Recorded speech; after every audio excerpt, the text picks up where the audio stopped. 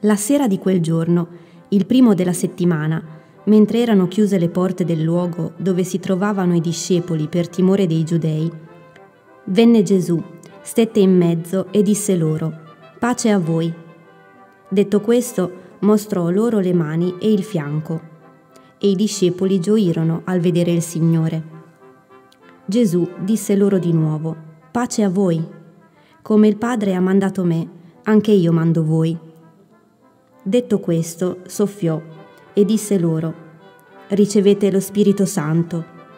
A coloro a cui perdonerete i peccati saranno perdonati, a coloro a cui non perdonerete non saranno perdonati. Tommaso, uno dei dodici, chiamato Didimo, non era con loro quando venne Gesù. Gli dicevano gli altri discepoli, abbiamo visto il Signore. Ma egli disse loro, se non vedo nelle sue mani il segno dei chiodi, e non metto il mio dito nel segno dei chiodi, e non metto la mia mano nel suo fianco, io non credo. Otto giorni dopo i discepoli erano di nuovo in casa e c'era con loro anche Tommaso. Venne Gesù a porte chiuse, stette in mezzo e disse, Pace a voi. Poi disse a Tommaso, Metti qui il tuo dito e guarda le mie mani. Tendi la tua mano e mettila nel mio fianco. E non essere incredulo, ma credente. Gli rispose Tommaso, Mio Signore e mio Dio. Gesù gli disse, perché mi hai veduto tu hai creduto. Beati quelli che non hanno visto e hanno creduto. Gesù, in presenza dei suoi discepoli, fece molti altri segni che non sono stati scritti in questo libro. Ma questi sono stati scritti perché crediate che Gesù è il Cristo, il Figlio di Dio, e perché, credendo, abbiate la vita nel suo nome.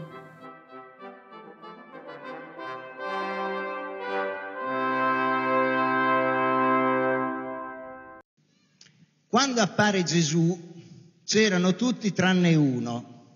Ma chi era sto sfortunato?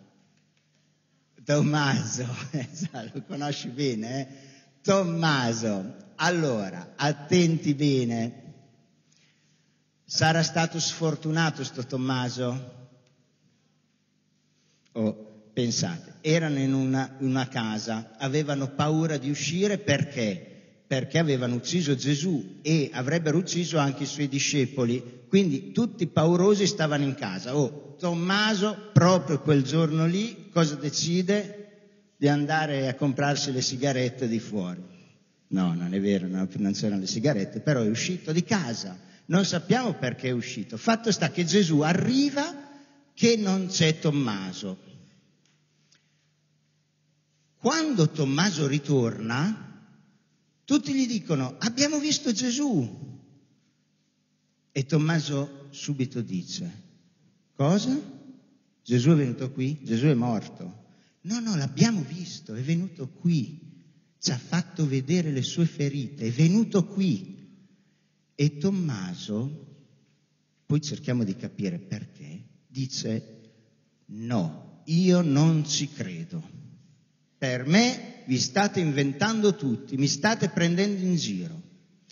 Forse avrà pensato, ma perché Gesù è venuto proprio oggi e proprio in questo momento che io non c'ero? Ma ce l'ha con me? Forse avrà pensato questo. Perché io sono così sfortunato che tutti gli altri hanno visto Gesù, io no? Sentite, ma chi è Tommaso? Non siamo anche noi a casa. A volte mi viene qualche mamma e dice, mio marito non riesco a portarlo in chiesa, a parte che non devi costringere il marito a venire in chiesa, se no succede un macello. Ma se il marito fa una riflessione, non è un po' come Tommaso? Sì, perché magari la donna, la moglie, ha avuto un incontro anche con Gesù. Guardate, io ho ascoltato anche qualche genitore ieri sera e qualcuno mi ha detto io questa comunione la sto vivendo bene perché mi pare di aver incontrato Gesù.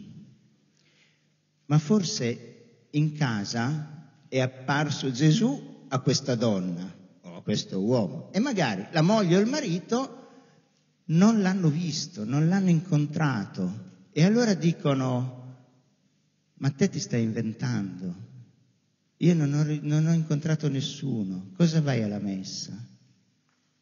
Non siamo un po' così anche San Tommaso, che pur di giustificare il fatto che l'altro non può aver incontrato Gesù, dice io a Gesù non ci credo. L'ateismo non nasce così?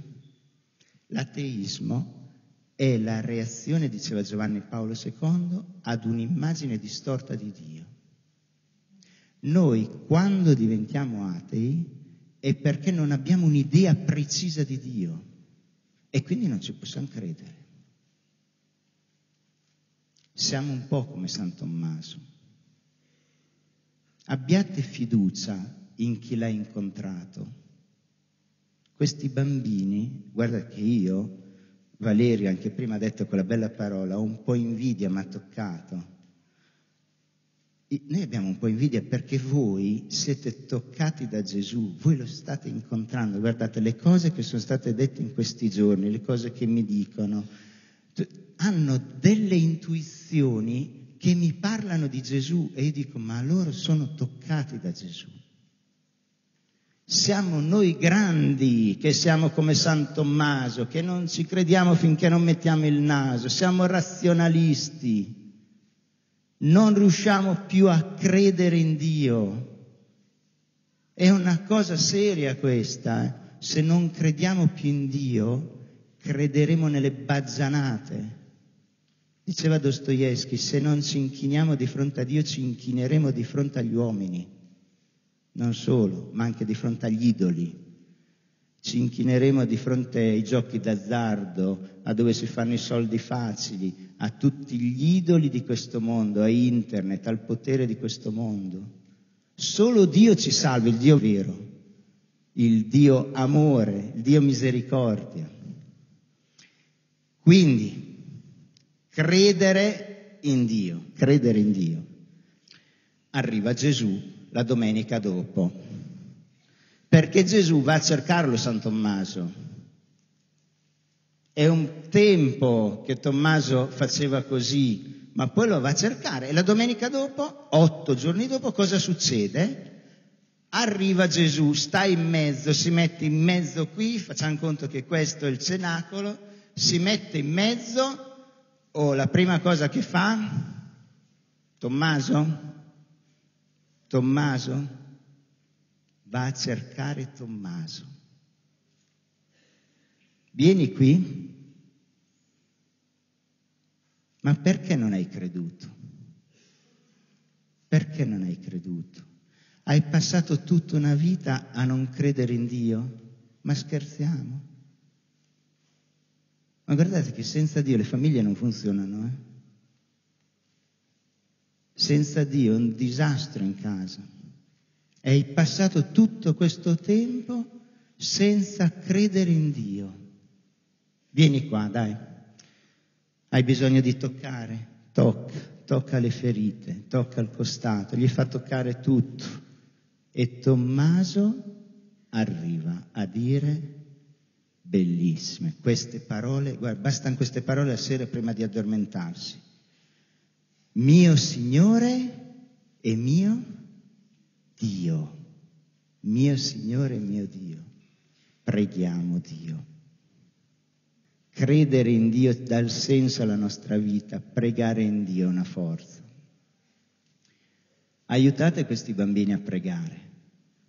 Qualcuno dice, io non trovo il tempo di pregare.